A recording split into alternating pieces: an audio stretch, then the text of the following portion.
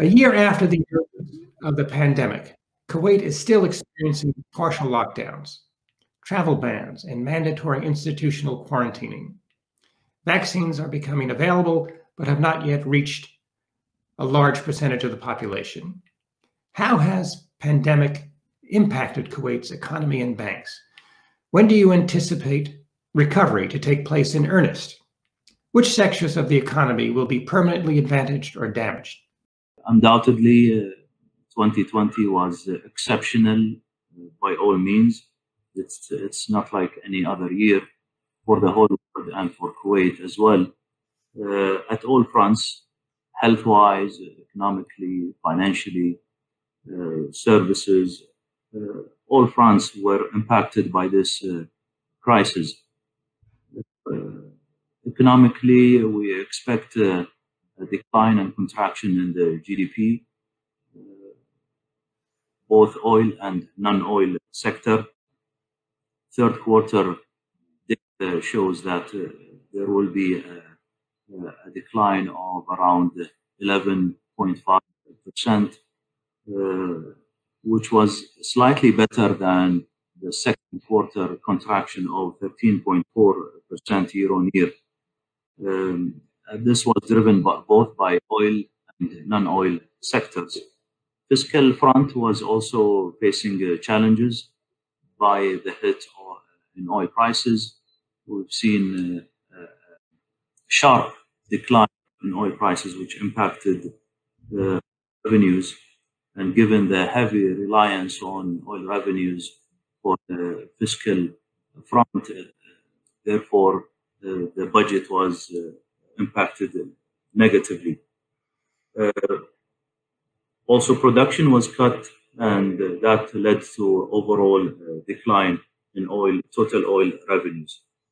Um, banking sector, uh, fortunately, uh, was resilient and sound enough to absorb the shock, even though we're not out of the wood yet.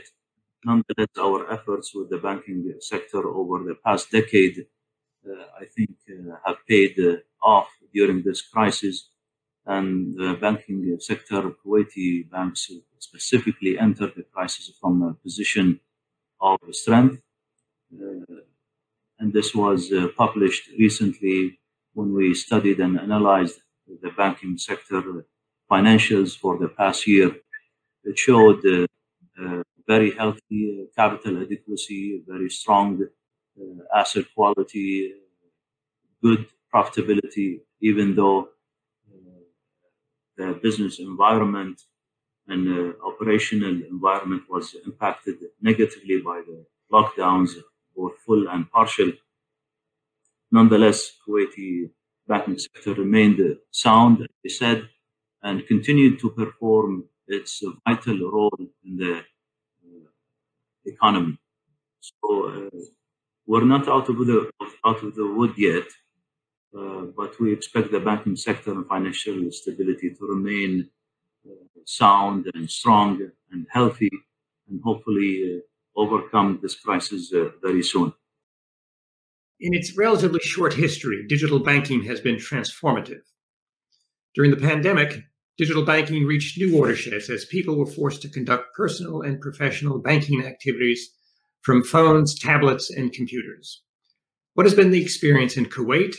How have banks performed? And what are the challenges facing Kuwaiti digital banking? I think this is a very important and critical topic. And uh, it's it's an equation that uh, has to balance. On one side, you want advanced, top quality, convenient, fast services.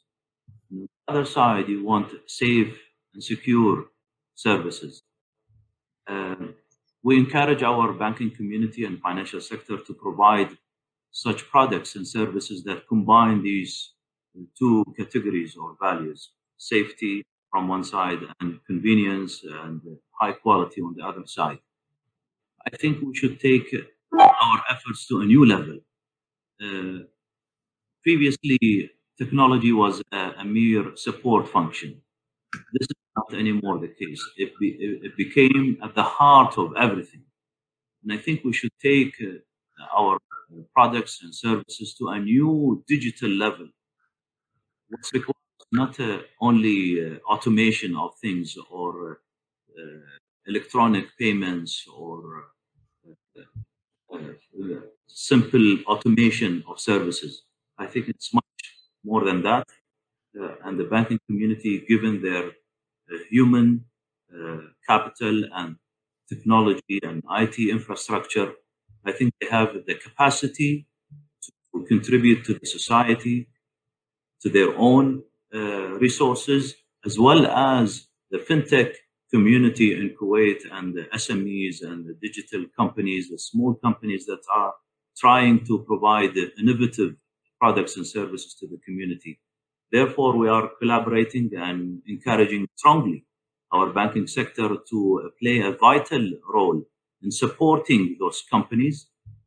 We are providing also a supportive environment uh, uh, in our regulatory sandbox, where we provide a safe testing environment in order to ensure whatever service provided to the community is, as I said, top quality, added as well as safe at the same time.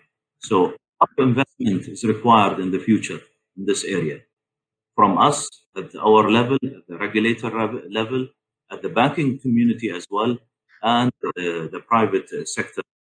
In the GCC and Kuwait, the pandemic has been a grand disruptor. Disruption often leads to consolidation within sectors, perhaps at the country and regional level. Do you see societal support for consolidation of the Kuwaiti and GCC banking sector? Uh, Governor, would you like to comment on this? Well, I'm not sure if this is a matter of societal support, rather business decision.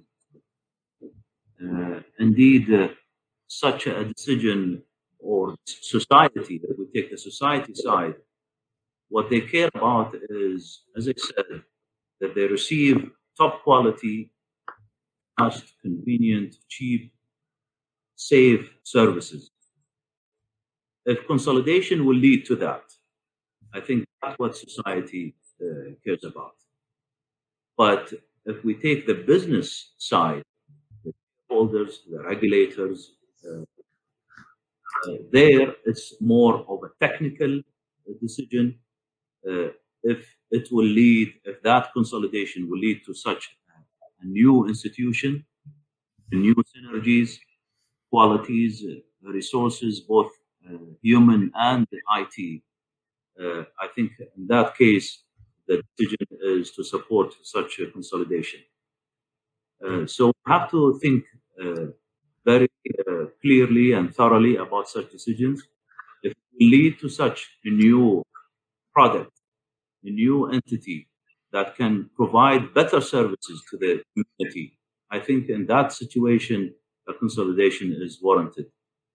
And um, from our perspective as a regulator, given that we're not out of the woods yet, as I said, I think it is uh, very critical that we uh, think very deeply about the situation, uh, evaluate pros and cons, uh, in, ensure that we understand both the acquirer and the acquired companies in order to decide whether, as I said, the bottom line that the new entity can survive the crisis, better the community, ensure financial stability, uh, lead to uh, high quality uh, services, and of course, further strengthening the competition rather than reducing the competition in the banking sector. So, bottom line is is the community, is the society, is the human being that we provide service to. If we can provide better services by the new entity, then this is a good decision. If that new entity will lead to poor services, or will disrupt the financial stability or lead to any instability at the financial or monetary uh, side, I think uh, that decision is, is not warranted and must be th- thought uh, carefully. Around the world, environmental, social, and governance considerations have taken on new prominence during the pandemic. What has happened in Kuwait? Uh, Governor, do you want to comment on uh, ESG? Well, uh, this is also a very important topic. If we look our, at our economy, given the heavy reliance on, on oil, so this is also a critical subject that uh, banking sector and the financial sector is uh, very uh, strongly connected to the oil sector and the oil companies. And uh, climate change and future of the oil industry is affecting that uh, relationship. And we're uh, discussing uh, this subject and preparing the financial sector and the banking community for the future.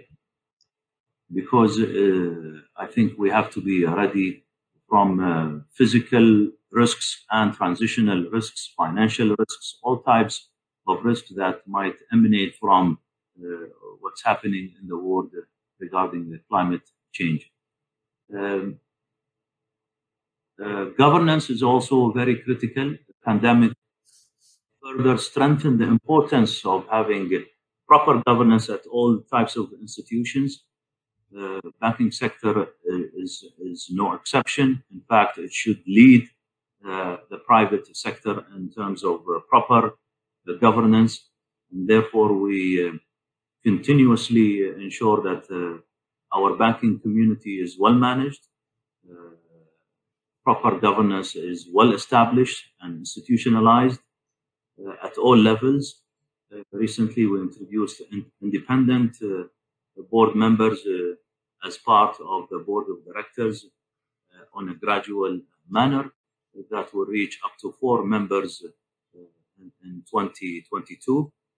Um, uh, of course, uh, gender equality, income quality, uh, all these things come into play and utmost uh, importance. We at the Central Bank uh, of Kuwait were very proud that uh, the female community represent a higher percentage, in fact, than male community. We are at 58% ladies that represent our staff uh, at all levels, including managerial uh, executive level. So uh, those elements are very critical and important, and the regulator in the Central Bank of Kuwait are uh, keen of achieving those uh, objectives, uh, of course, in cooperation with the banking sector. It's been suggested Kuwait needs a comprehensive development plan to diversify its economy and spur job growth. Do you agree? If so, what should such a plan include? Many believe Kuwaiti economic and demographic factors require robust private sector job growth. This will probably have to come from SMEs. How will these organizations be financed to power this growth? Governor? Every, I think, country in the world need uh, uh, an advanced, uh, adaptive, dynamic development plan that takes into consideration future challenges and risks and change with what's happening worldwide. And Kuwait is no exception. In fact, we need indeed uh, a very comprehensive plan uh, that uh, reform all the structural imbalances and remedy all the difficulties and challenges our economies economy faces uh, whether in the economic, fiscal, labor, structural, uh, because uh, even though we achieved monetary stability, financial stabilities, which are necessary, but not sufficient for economic sustainability, and uh, both monetary stability or financial stability definitely will be impacted if we don't take the necessary uh, serious steps to reform and remedy our structural uh, imbalances. So we need a comprehensive development plan that uh, diversify our economy away from oil, that create jobs for nationals. Uh, uh, we have to continue to spend on uh, capital investments in order to attract both local and foreign investors create a healthy, attractive business environment. All that must be taken into consideration in order to enhance our uh, fiscal position, our economic sustainability, to ensure prosperity for everyone in the society, not only now but also in the future. In the future, and ensure that future generations also we enjoyed in the past. So it's very critical that uh, uh, we have uh, such a comprehensive uh, development plan.